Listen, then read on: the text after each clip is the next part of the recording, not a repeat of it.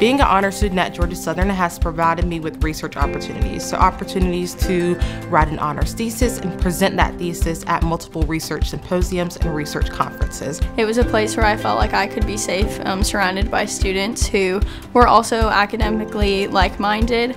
Um, but then also, they've provided me with several scholarships that have made it so affordable to be here. The Honors College was the one that provided me with the resources to be able to come here and develop in the best way possible. The Honors College provided me with the contact to actually obtain my internship with Downtown Statesboro Development Authority.